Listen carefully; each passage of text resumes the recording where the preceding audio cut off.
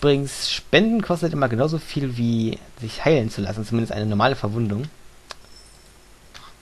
Und Gottes, Gottes Angriffsbuch Buch habe ich ja einmal gefunden gehabt, aber das brachte mir ja nichts, von daher ging das in den Mülleimer sozusagen.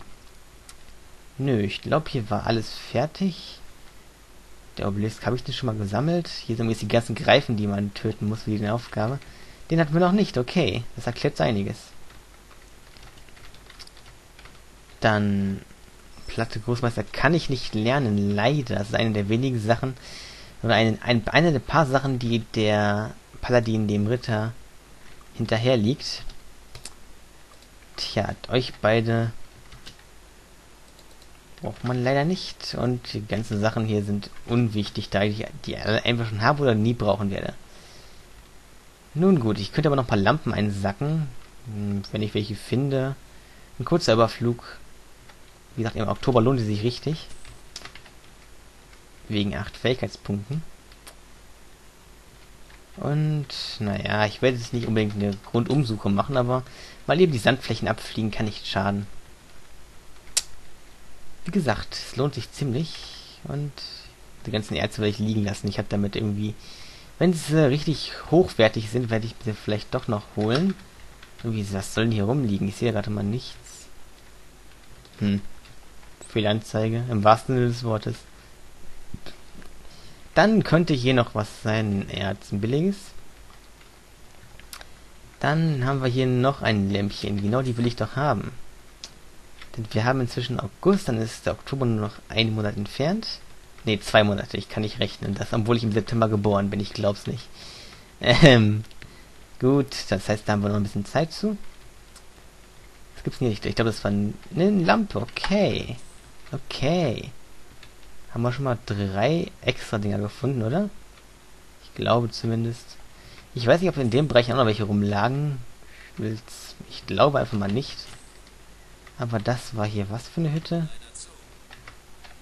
Äh, Ampullen Alchemieladen. Ich glaube, da gab es keine schwarzen Tränke in dem Ding. Und irgendwie haben die alle dieselbe Höhe. Ich kann exakt auf Schritthöhe fliegen überall. Das gefällt mir doch. Und eigentlich habe ich hier fertig. Luftgroßmeister führt eigentlich dazu, dass wir fliegen können, ohne Punkte zu verlieren. Das ist ganz praktisch. Und Unsichtbarkeit hält jetzt eine halbe Ewigkeit. Das ist auch schön. Funkenflug hat noch einen leichten Touch dazu bekommen. Schild brauche ich nicht mehr nachzucasten. Und das kostet nichts mehr. Und ich kann einen neuen Zauber lernen. Gefällt mir doch. Damit begeben wir uns nun auch direkt mal kurz nach Celeste. Denn ich glaube, das ist die, oder zumindest eine, eine Großmeister Luftgilde. Die war nach oben gerichtet und dann nach links. Oh, ihr habt Skills auf den Rändern zu laufen. Und ich glaube, Feine gab es keine mehr. Ich habe mal, hab mal nicht einmal die Zeit genommen und das Ganze hier leer geräumt, denn hier kann man durchaus ganz gut shoppen gehen. Gar, gar keine schlechte Idee, mal hier nach dem Kopfgeld zu fragen. Ach nee, das war Schloss Lambent. Okay, falsch vertan. Falsch vertan, falsch geguckt. Hier war nämlich das eine Ding gewesen. Das heißt, ich muss doch nach unten eigentlich, damit ich da zu den ganzen Läden komme. Ach ja, ich dummerchen nicht. Wie gesagt, Feinde gibt es hier keine mehr, nur ein paar aufgeschreckte Bürger. Ich kann aber nicht warten, das ist blöd. Da ich sowieso alle Läden zu haben, muss ich mal eben hier raus. Ah, dumm gelaufen, nicht wahr? Und hier kann ich auch nicht warten. Ah, ah, ah. Danke, hier kann ich wieder warten. Nein, kann ich nicht. Na, orr, orr. Hier kann ich warten, okay. Warten bis Sonnenaufgang und noch eine Stunde und dann, da ich zu faul bin zu laufen, ab nach Celeste. Die ganzen Parts drehen sich gerade eigentlich nur darum, dass ich meine restlichen Großmeister-Dinger sammle und alles mögliche, aber es hat auch seinen Effekt. Und irgendwie verzaubert sich damit immer einer mit so einem Tag der Götter-Buff und das klappt nur bei ein. Ich verstehe das Prinzip dahinter nicht so ganz. Ah, klasse. Immerhin. Ist Platz im Inventar dafür. Und ich darf demnächst wieder verkaufen gehen, aber was soll's. Bringt den beiden Kohle und davon habe ich gerade mal nicht mehr so viel übrig. Was irgendwie schade ist. Gut, in Alchemieläden gab es meistens was Schwarzes. Reaktion und Geschick. Reaktion ist eigentlich so ein Nonplusultra-Ding, das eigentlich, das man eigentlich überall braucht. Deshalb bin ich da gewillt, das, das zu kaufen. Hier haben die aber gerade mal nichts Schönes. Eigentlich wollte ich in Luftgilde gehen, welche, welche Großmeisterzauber anbietet. Das wäre mein letztes Geld, welches ich aus rausschmeiße. Das ist aber praktisch für Kämpfe, wo die Feinde kein, äh, wo die Feinde gegen Feuer resistent oder gar immun sind. Deshalb bin ich da gewillt, den auch zu holen.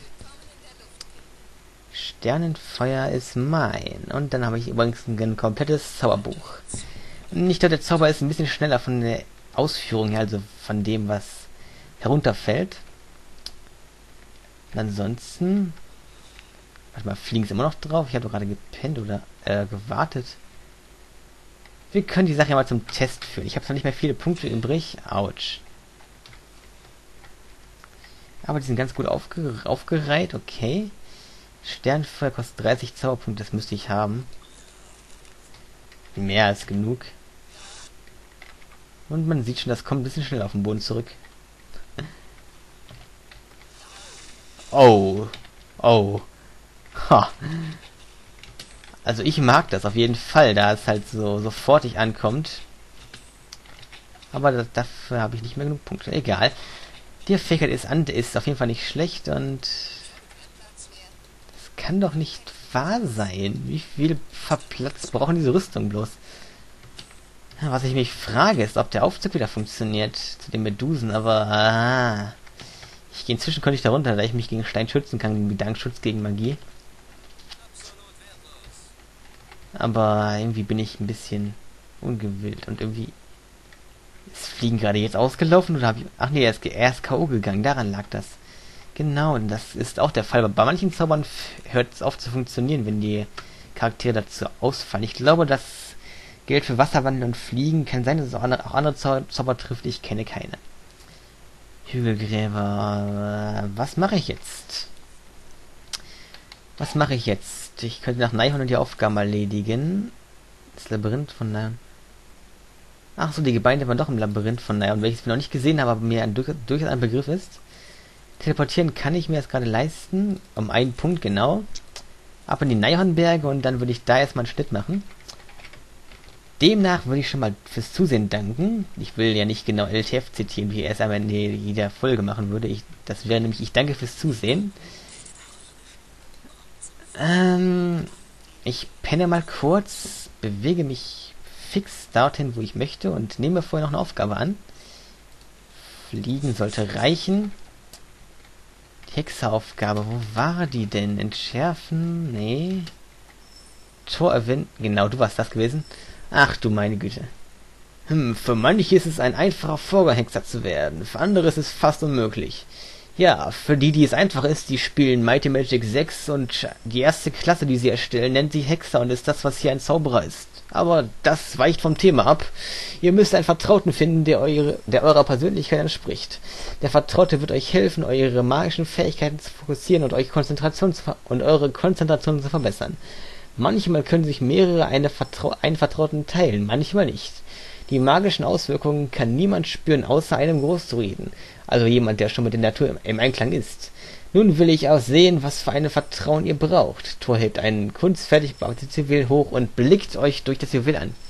Er runzelt die Stirn. Hm. Naja, die gute Nachricht ist, dass, dass ihr alle denselben Vertrauten benötigt und alle sehr mächtig werdet, wenn ihr ihn gefunden habt. Die schlechte Nachricht ist, dass, er, dass euer Vertrauter ein Drache sein muss. Findet ein Drachenei, bringt es hierher zurück, dann, dann, dann wir werden es ausbrüten und den vertrauten Zauberspruch aufsagen. Mein Training bei Meister Yoda hat durchaus Früchte getragen, findet ihr nicht auch? Der Babydrache wird euch alle prägen und ihr ihn. Vielleicht findet ihr ein Drachenei in einer Drachenhöhle im Land der Riesen. Passt aber auf die Mutter auf. Nun, die Quizfrage ist, wie um alles in der Welt kommen wir ins Land der Riesen? Das weiß ich selber, selber nicht im Kopf. Da war ich bisher, glaube ich, noch nie gewesen. Denn, wie gesagt, das Spiel hatte ich noch nie ganz durchgehabt. Und das ist einer der absolut letzten Gebiete, die wir betreten. Oder betreten müssen, um in der Story weiterzukommen. Aber, wie dem auch sei, hier ist noch ein Altar. Kann ich den betätigen? Ich weiß nicht, welcher Monat das war. Es ist möglich. Dann wollen wir das schnell tun, nicht zu rausziehen, denn die Rocks sind gefährlicher, als man vielleicht denkt. Habe ich die nicht alle immer weggeräumt? Ach nee, das waren die, das waren die beim Obelisken gewesen. Das ist ein Unterschied. Und dort oben auf dem Berg gibt es, glaube ich... Das ist, glaube ich, ein Vulkan oder so. Ich kann, ich kann mich da gar nicht genau festlegen. Jedenfalls wollte ich mich eben zum Labyrinth begeben. Das war dort oben irgendwo. Hüstel. Und das wäre mein erstes Ziel. Denn dort kann man durchaus sich aufs Donnergebirge vorbereiten oder auf ähnliches. Denn eigentlich gibt es hier nur zwei Dungeons, das Ding hier und das Donnergebirge. Und das Donnergebirge ist 20.000 Gänge breit und ähnliches. Deswegen würde ich sagen, hier gehen wir als nächstes hin und ich würde sagen, bis zum nächsten Mal. Ich hoffe, es war spaßig, wenn, wenn ich auch gerade relativ wenig Action eingebracht habe. Ein bisschen Bürokratie, sagen wir mal, muss auch dabei sein.